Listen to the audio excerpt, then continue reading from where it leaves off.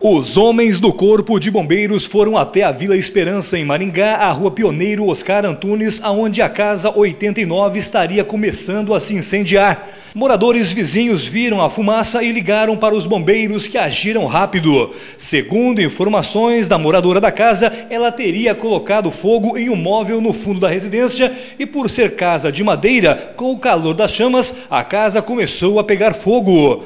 Ela diz que não imaginava que o fogo pudesse chegar às paredes da residência. Onde você pôs o fogo ali? No sofá. Você pôs fogo por que motivo? Porque tava cheio de bicho, cupim. Você não imaginava que fosse pegar na casa. Não, acho não. Tava longe. Aí de repente a casa começou a se incendiar. É, eu vi, eu vi. A vizinha que viu, eu não vi porque eu tava lavando roupa. Começou a instalar ali. Não, não fez nada. E daí começou a pegar fogo. Daí a vizinha chamou o bombeiro. Fico alerta aí porque realmente pôr fogo perto de casa não é bom. É. Nossa, que susto que eu tomei. Ainda bem que o bombeiro foi rápido, né? Foi rápido, muito rápido. Tinha dois sofás lá e tava cheio de bicho e eu fiquei com medo de chegar na parede, daí acabei colocando fogo. É, fomos acionados rapidamente pelas pessoas que visualizaram a situação. Nós chegamos, conseguimos controlar rapidamente.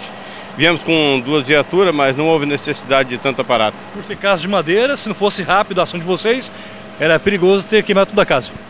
Ah, sim, com certeza. A residência de madeira tem facilidade de propagação do fogo.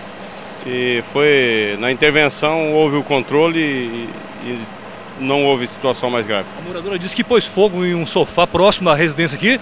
É, é, tem que se fazer um alerta para as pessoas não fazer esse tipo de situação que pode de repente incendiar uma residência.